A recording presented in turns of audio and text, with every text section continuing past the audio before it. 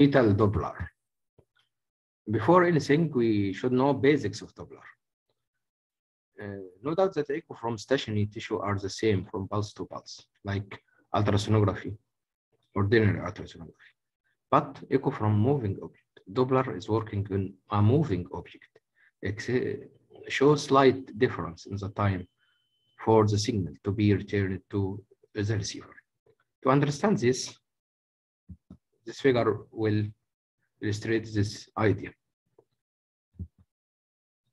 The impulse from transducer to the moving object, T1, and then the moving object change its position. So the returning signal T2 changed the position in the transducer, unlike stationary object.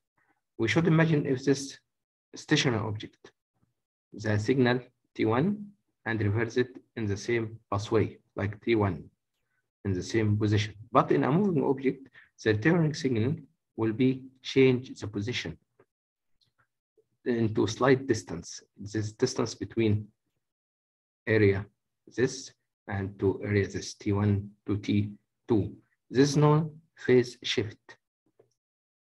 Uh, also, changed by the angle of the beam, the angle slight angle. But if the angle is acute or obtuse, this will affect velocity or Doppler. This is the frequency and this is the angle of insonation, it's acute angle. The angle between the beam and the direction of the flow become smaller. To understand the importance of the angle, this diagram showing the importance of the angle. In position A, or in situation A, the angle is acute, shows a wave like this. The angle here changed in B, uh, less acute toward right angle, not reaching right angle, the wave like this. But when the angle is right angle like this, the wave is so slight or shadow or nearly baseline. Unlike uh, angle become obtuse and the moving object moving um, uh, more uh, opposite side to the transducer, the wave become inverted in a D.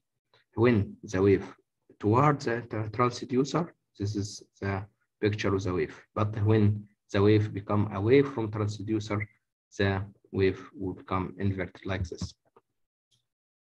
Certain parameter we used in a Doppler, S means systolic peak, D diastole, it's easy, systole and diastole. A is average, average of frequency over one cycle. To understand Doppler indices, first resistivity index, which introduced in 1975, which equal systole minus diastole divided upon systole. So the resistivity index should not exceed one because we subtracted systole uh, minus diastole and then divided the, all of them upon systole. Pulsatility index introduced uh, two years later equal systole uh, minus diastole divided upon average. Lastly, acidity ratio, which uh, simply divide systole upon diastole. In obstetric fetal Doppler, we uh, focus on three things, umbilical artery, uterine artery, and middle cerebral artery. There's a lot of uh, studies on investigation, but this most important. Umbilical artery, uh, it is easier, a less experienced operator can achieve highly results with simple, inexpensive equipment. With advanced gestation, umbilical artery Doppler waveform demonstrate progressive rise in the end systolic velocity and decrease in pulsatility index means there's more blood supply to the fetus. Acidity ratio, normally 2 to 3 in second and third trimester. Pulsatility index uh, between 1 0.5 to 2 second trimester, but decreased due to increased blood supply in third trimester to less than one and a half. Safety index nearly around 0.5 or half.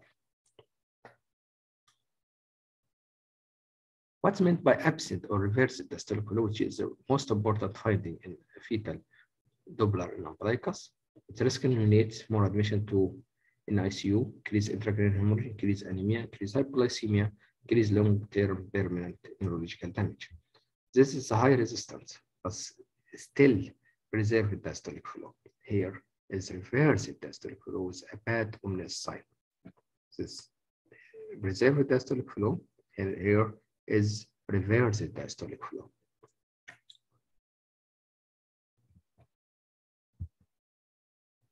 In 39 IUGR fetus, cordocentesis was carried. This was positive diastolic flow, only 12 percentage hypoxic, and there is no acidosis. But in absent or reverse, reverse diastolic flow, about 80 percentage hypoxic and nearly half of them acidemic. Umbilical artery and CTG. Umbilical artery, 90 percentage more sensitive than stress test or CTG. Interval between absence of diastolic flow and onset of late deceleration was days, about 3 to 12 days. so the fetal hypoxemia first affected fetal growth, then abnormal in arterial Doppler, then abnormal in venous Doppler, and lastly change in non-stress test or cardiogram or biophysical profile, which is late. Uterine artery, this is another section of Doppler, which help us to predict preeclampsia. Reflects trophoblastic invasion, endpoint elevated resistive, resistive index indices more than two standard deviation or persistent diastolic notch. This is the uterine artery, this is iliac artery and iliac vein, how to catch them in the Doppler.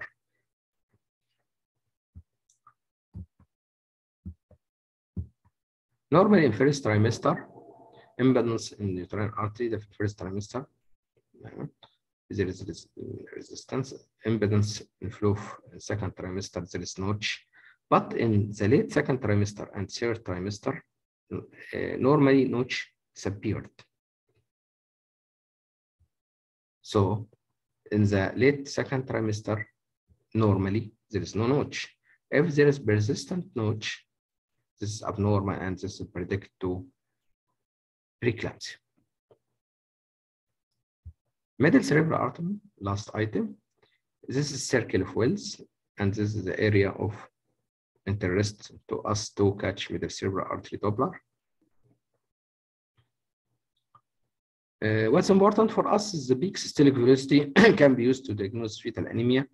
We used it in cases of erythroblastosis fetalis to diagnosis of early diagnosis fetal anemia before, before occurrence of hydrops fetalis. Thanks a lot.